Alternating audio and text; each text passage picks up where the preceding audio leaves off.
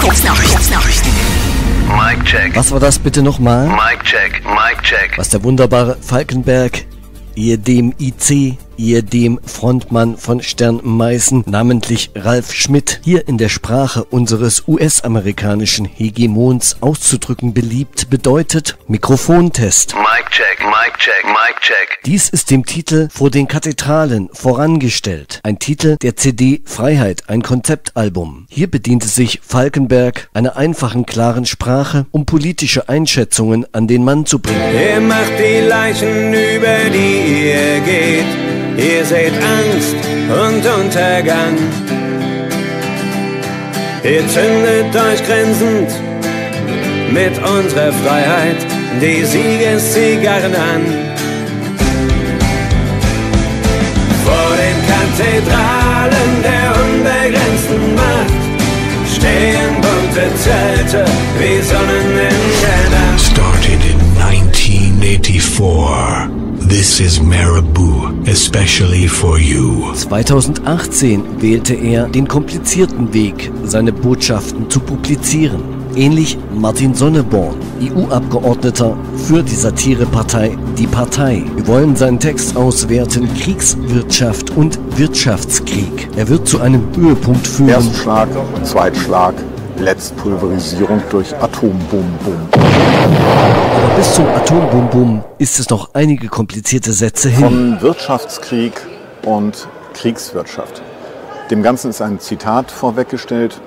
Mein Führer, ich kann wieder gehen. Dr. Seltsam. Die EU hat die eigenen Bestände vollständig geleert, ihre Produktionskapazitäten ausgeschöpft und möchte nun, angeführt von einem ihrer Korruptionskaputniks, Tschechien, für 1,5 Milliarden Euro 800.000 Artilleriegranaten auf internationalen Resterampen und den undurchsichtigen Schattenmärkten Afrikas erwerben, ohne irgendjemandem auch nur ansatzweise zu verraten, wie, was, warum und von wem. Hat die EU zusammen mit ihrem Friedensauftrag jetzt auch die Mindeststandards für rechtskonformes Verwaltungshandeln ausgesetzt? Allein der Verdacht einer Anbahnung undurchsichtiger Geschäfte mit Waffenhändlern hätte zum geschlossenen Rücktritt der gesamten Kommission geführt. Bis vor kurzem jedenfalls. Deutschland mit dreistelligen Millionenbetrag dabei. Paar tausend Euro pro Bumsgranate, guter Preis. Jubelt die Süddeutsche Zeitung, die über diesen haarsträubenden Unsinn auch noch mit einem heiligen Ernst berichtet, als handele es sich um die Wiederauferstehung des rechten Latschens Jesu Christi. Gleichzeitig ruft der in seiner napoleonisch gemeinten Lilliputaner-Ehre gekränkte Macron den ohne dies unter erschwerten Kriegslebensbedingungen vor sich hin vegetierenden Durchschnittseuropäer mit düsterem Raunen dazu auf, nun ja kein Feigling zu sein und sich endlich dieser mit der Wucht eines ausgemusterten Lada auf ihn zurasenden Geschichte zu stellen. Ist es das, was man bekommt, wenn man sich einen welpenäugigen Schwiegersohn der Finanzmärkte zum Präsidenten macht? Dessen Hauptargument es seinerzeit doch noch gewesen war, diese seine böse Gegenkandidatin Le Pen, die jüngere, würde das schöne Frankreich Stantepede in den nächstbesten Krieg führen? In Brüssel schließlich steht der Milliardär Thierry Breton, gelernter Transmissionsriemen zwischen privatem Großkapital und öffentlicher Verwaltung, sowie EU-Kommissar für alles, was man ihm nicht rechtzeitig aus den penibel manikürten Klauen schlägt. Unter gewohnt kryptischen Kürzeln nach ED, IDP und ASAP nun EDIP und EDIS stellte das Kommissionsprogramm zur Umwandlung der unverdaulichen Reste der europäischen Ökonomie in eine Kriegswirtschaft vor. Nun, das Dossier. Zuschüsse, Darlehen, Steuerbefreiung in einer perspektivischen Größenordnung von 100 Milliarden Euro für den damit auf absehbare Zeit von jedem Verlustrisiko befreiten industriellen Rüstungskomplex. Städte reißen auf, die Beben gehen tiefer. Der kollektive Geist kaut auf seinem Kiefer.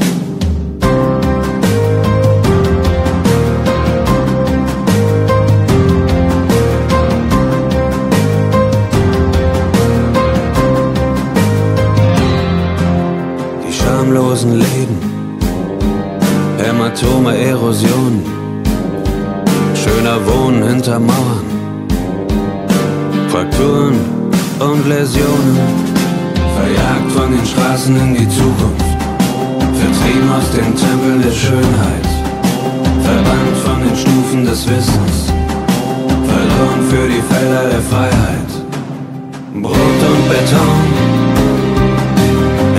entfernt an den Rand der Wunden. Brot und Beton. Keine Sterne, keine Stunden. Brot und Beton. Entfernt an den Rand der Wunden. Brot und Beton. Keine Sterne, keine Stunden.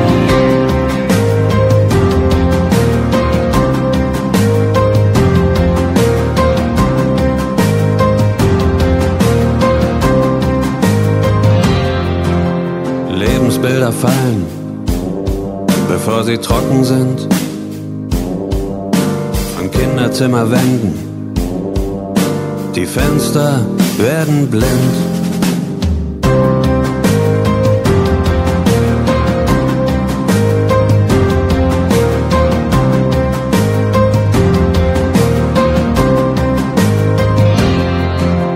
Menschen werden Schatten in der Ausweglosigkeit des registrierten Lebens. Verloren in der Zeit, verjagt von den Straßen in die Zukunft, vertrieben aus dem Tempel der Schönheit, verbannt von den Stufen des Wissens, verloren für die Felder der Freiheit. Brot und Beton, entfernt an den Rand der Wunden. Brot und Beton. Keine Sterne, keine Stunden. Brot und Beton. Entfernt an den Rand der Wunden. Brot und Beton. Keine Sterne, keine Stunden. Falkenberg 2018. Die Trägerin des Friedensnobelpreises EU lehnt es seit nunmehr zwei Jahren rundheraus ab, die europäische Erfindung der Diplomatie zur Befriedung ihres eigenen Kontinents einzusetzen und zieht es stattdessen vor, sich mit einem Geld, das zu gleichen Teilen geliehen, Finanzmärkte, gestohlen, russisches Staatsvermögen und selbst gebastelt ist, EZB Kartoffeldruck, für denselben großen Konflikt zu rüsten, den aufzuhalten sie sich gleichzeitig beharrlich weigert. Verschuldung, Militarisierung, Diebstahl, Schwarzmarktgeschäfte und Waffenhandel, rechenschaftslose Intransparenz, Kriegsfinanzierung und Kriegsvorbereitung zu einem ohrenbetäubend vorwilhelminischen Kriegsgeschrei. Eine solche EU mit Verlaub wurde in Europa niemals gegründet. Wirklich nicht, Herr Sonneborn? Kriegswirtschaft also. Ziehen Sie da draußen sich sicherheitshalber schon mal warm an.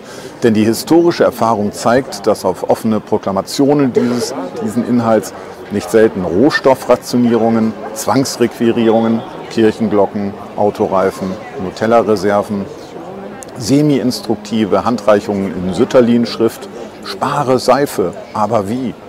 Und monochrome Essensmarken folgen.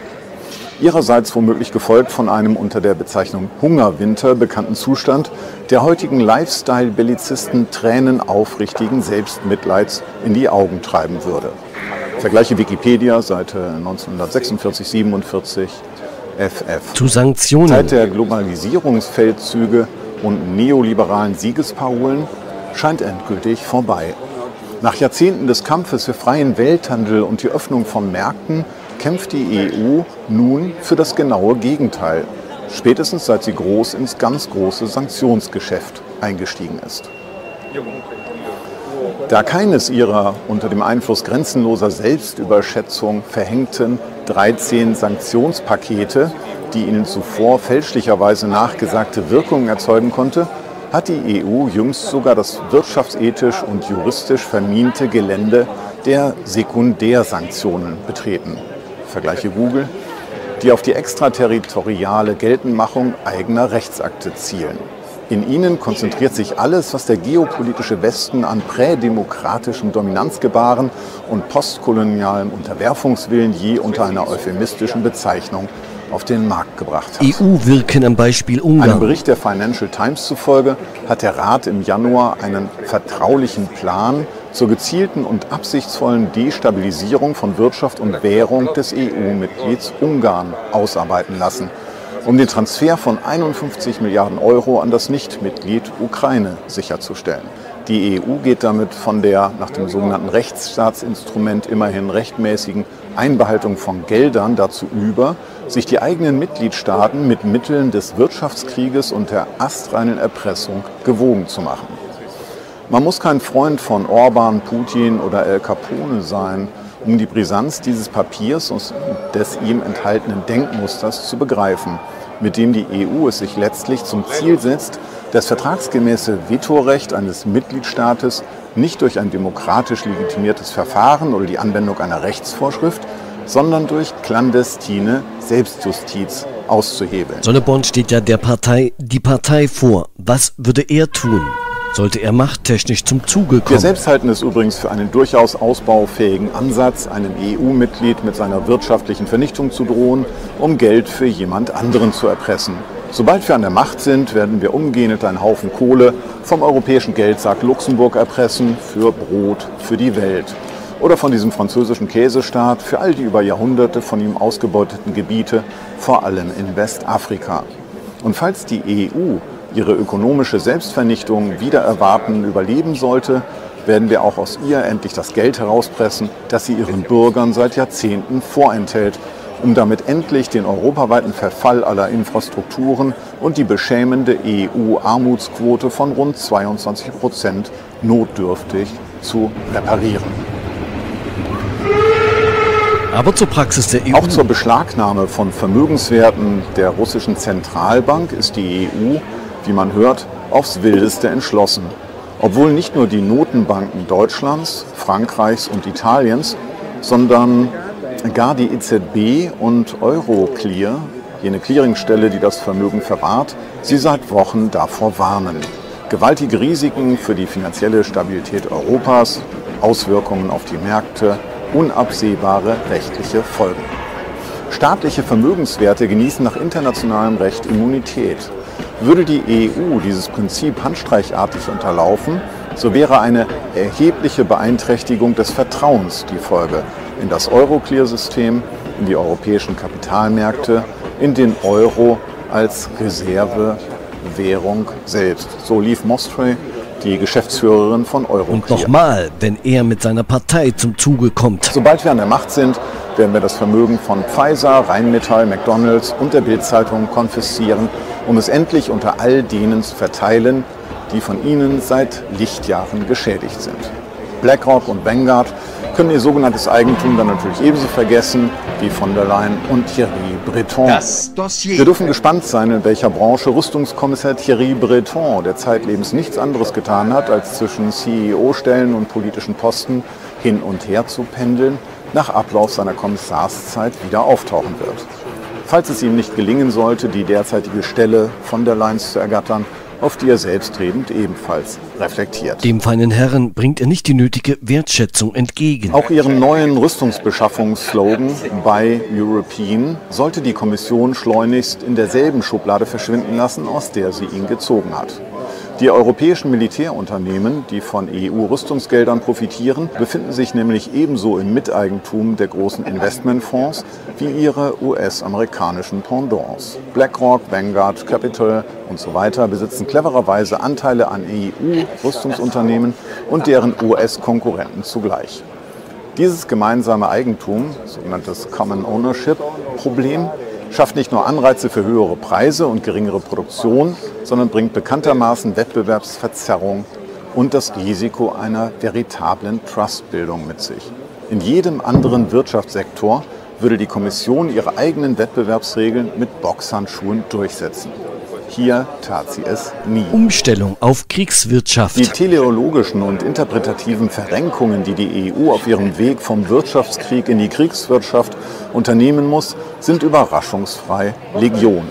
Alarmiert belehrt uns Gablers Wirtschaftslexikon, dass Kriegswirtschaften unter formaler Aufrechterhaltung des Marktes dessen zentrale Mechanismen außer Kraft setzen, um sie durch ein auf militärische Zwecke ausgerichtetes Administrationssystem zu ersetzen.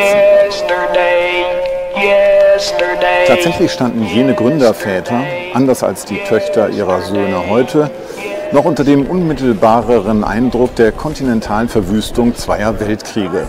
Wir dürfen getrost annehmen, dass die von der europäischen Kriegs- und Nachkriegsgeneration vielfach referenzierten Schlachtworte nie wieder Krieg von der tiefstmöglichen Überzeugung nebst der festen Absicht getragenen waren, nie wieder einem Wahnsinn verfallen zu wollen, der es auf verdrehte Weise vernünftig erscheinen lässt, Unsummen finanziellen und politischen Kapitals nicht dem Glück und Wohlergehen der Europäer, sondern dem todbringenden Geschäft mit letalem Gerät zu widmen. Und zum Schluss nochmal seine Erkenntnis, die nicht die meine Die ist. Europäische Union muss mit der Produktion einer neuen Waffengeneration beginnen, um auf dem Schlachtfeld zu siegen.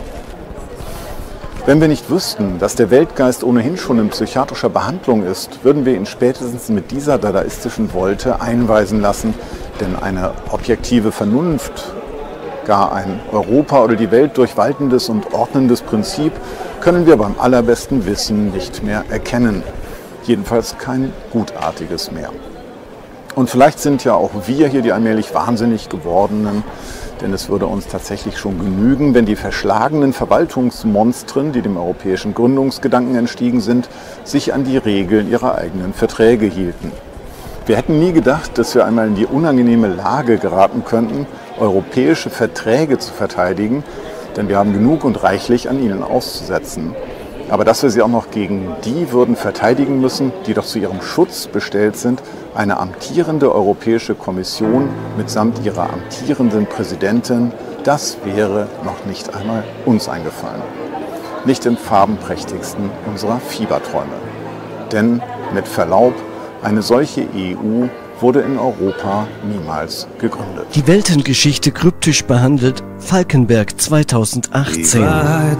Wurde zu Tode geschleift, die Vernunft mit Angst geblendet. Unser Marsch vor den Tribünen hat die Sinfonie des Friedens beendet, versunken in rostiger Erde. Das Skelett der Kriege mit all seinen Orden und Seite an Seite die Söhne der Söhne vergessen im nächsten Morgen. Letzte Erkenntnis. Erstschlag, Zweitschlag, Letztpulverisierung durch Atombumbum. Martin Sonneborn, Falkenberg, Atom Bum Bum. Ein Dossier. Mit Schwung in eine neue Woche, Montag, der 25. März 2024. It's both uh, a pleasure. Morgen werden wir hören, Schönen guten Morgen, Richard. Guten Morgen, Markus. erregte Hörer haben mich angeschrieben, gestern war nicht drin unser Kanzler. Drum heute als Meldung 1, nein, der Taurus ist noch nicht geliefert. Der Leo passt auf. Trotzdem gilt, mein liebes kriegstüchtiges Publikum, We are fighting a war against Russia and not against each other. Thank you. also eigentlich wie immer. nicht sein, dass man, wenn man die Kontrolle haben will und das nur geht, wenn deutsche Soldaten beteiligt sind, ist das für mich ausgeschlossen.